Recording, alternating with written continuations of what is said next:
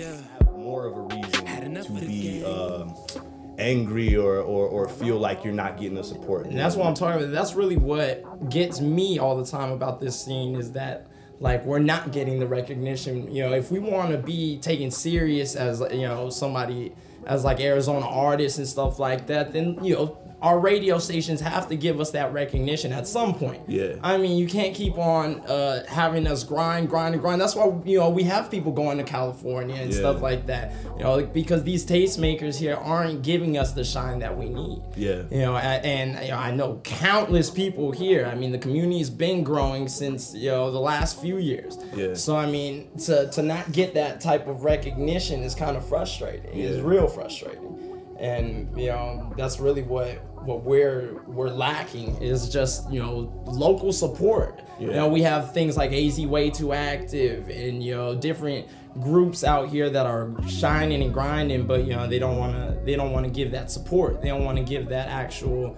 you know shine. You know, we have this early morning or late night that that we have mm. like where nobody's listening and they think that that's sufficient, but they want to put other you know top they want to put other artists just based off name alone. Yeah. You know, just off name. Kanye drops something or something like that. They're gonna, you know, whatever, Yeah. drop it and play it. But you know, you won't even support the people that are actually in your own home state. And then, you know, I, I think that's, uh, you know, It's that's whack. garbage. That's 107.5 is a big radio station in Denver, um, and they used to have on Sunday nights after like seven or eight o'clock or something. They would have like it was like the local talent night where they would just do like it was like show improve or something like that. Yeah, yeah, Do they, have, that. like that. They have that, but it's like at like what I think 11, 10 o'clock. It's, like, super 10, at- late at night. You know what I'm saying? Nobody's paying attention, Yeah. and it's on a you know early morning on a Sunday at eight o'clock when everybody. You know what I'm saying? yeah.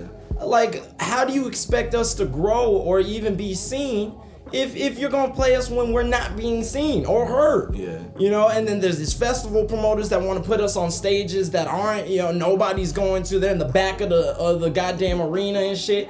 It's uh, like how do you expect us to grow? Eventually you know we're gonna we're gonna get to a point where we're outgrowing our own radio stations I have know? a question. How do you feel like you guys differential from California? You know what? What I think we got, and which our main superpower is that Arizona. I think there's never been a more melting pot than Arizona. Everybody's coming from different places. Everybody, yo, is you know either rapping different things, and it's been become this mold of different different sounds and different people. You know, whether it's singing, I've heard singing, rock. You know, we got people like Optimistical that I mean they do damn near folk music. You know what I'm mm-hmm. saying? And hip hop. You know, so uh, the best thing you could do is show up to one of these events or show up to these, you know, things. You start seeing this blend of all types of different genres and music and stuff like that. I think that's our main superpower. So do you feel like a lot of that has to do with because you're from here, or does it mean that you guys are actually talented?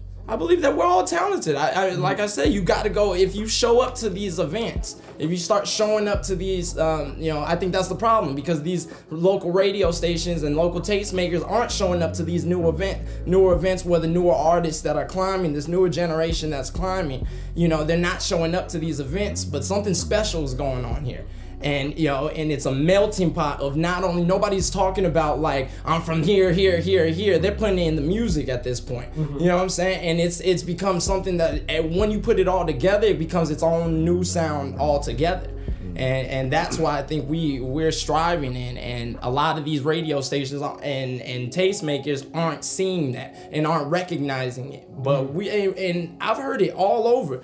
You know, it's there's no reason why why I should have to have a major record label.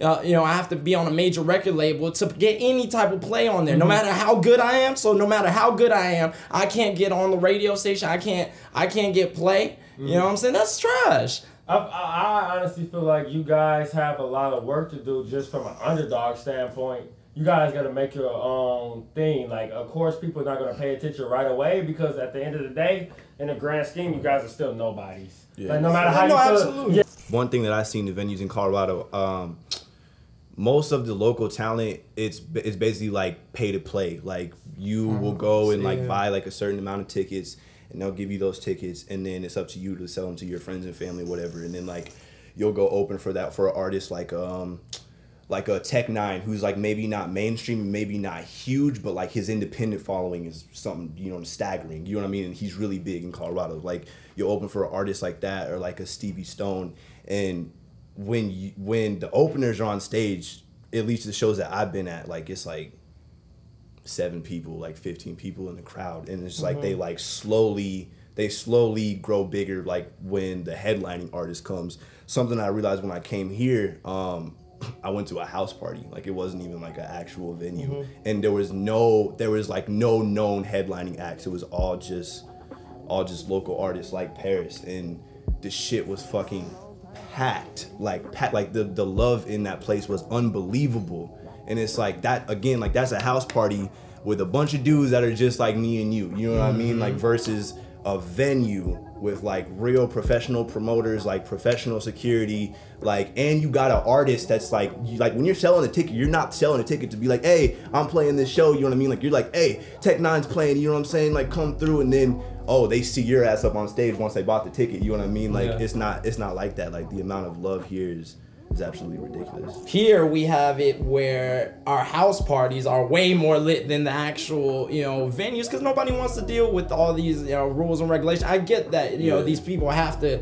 cover themselves, but I mean, there shouldn't be, you know, where they're they're hindering us from growing or promoting or, you know, uh, you know, there's no reason a house party should be even any more lit than the actual venue. Exactly. You know what I'm saying? So, What do you want to see these radio stations, these tastemakers, these festivals, these uh, venues? What do you want to see them do? I think essentially what needs to happen is that we need to have like essentially what needs to happen is we need to have these these radio stations and and local tastemakers show up to these events come to these these different ven- uh, events that we have you know where the color eight's playing you know we have um, seafoam playing we have different artists that are playing that are actually doing things and grinding and I want them to acknowledge that. You know, they need to acknowledge that because there's they're, they're credible. You can't be playing playing these dumbass artists and have the same five songs in rotation, but then tell me you can't play. You don't have any room to play a, a local artist or somebody, no matter how good they are. Yeah. So I mean, you need to you need to recognize that. You need to shine shine light on artists that are in your you know that's what makes every other big you know big city big you know because they put the you know what i'm saying somebody if anybody just stud you know says any bullshit and they say they're from compton you're gonna think oh that's some heat Yeah. like you know what i'm saying Yeah. because compton has gotten to a point where they they they've made themselves a solidified place constant. you know what i'm saying Yeah. if we got if we want to do the same thing we got to stand behind our artists just like you know any other major big city stands behind their artists and i don't care we're good enough i know that that's not the question it's not a question if we're good enough. It's just when are they going to start giving the recognition and stand behind us so we could actually grow? Yeah. so, well, Mood, uh, Mood's been helping me out through this whole uh, web series, uh, along with Seafoam Sound, and you know they're a great group that is you know cultivating artists and determined to grow artists' career and and their you know fan base. You know, and Seafoam is another art collective. Uh, we have different people such as um, Optimistical, which range from hip hop to folk, rock. We got me, Julius King, you know, R&B, soul, uh, you know, different range. I also do songs with Optimistical. We got Shade One, who is our producer, DJ, um, and you know, we got Finch, who's our yeah. photographer. We got a lot of talent. Yeah, so we have you know we have a lot of talent in in in this group, and we're growing every day. And all all we want is recognition. Really, is all it is all it comes down to. Els is dropping in uh, this June, so be on the lookout for that too.